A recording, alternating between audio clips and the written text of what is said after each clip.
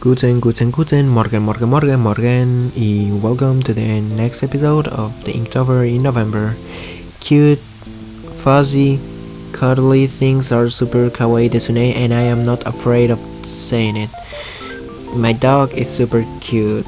He's the cutest thing in the world. He's the cutest dog in the world. No one can match his cuteness. And I don't care who's who says, "Oh, my dog is cute," or oh, "No, my dog is a bad." My dog is cute. I love cute and fuzzy, cute, kawaii things, and I am not afraid of saying it. Some people may be like, "Oh, but uh, I don't like those. Those things are for," uh, but but on private they love it. No, I am not afraid of saying that. I love cute, fuzzy, kawaii, adorable things. Those are the best. Yeah, totally. And that's the drawing about. It's a character that basically is the most powerful thing in the universe, in the multiverse, in the in all.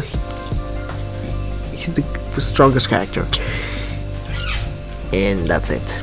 I'll leave you guys with the rest of the drawing. Enjoy.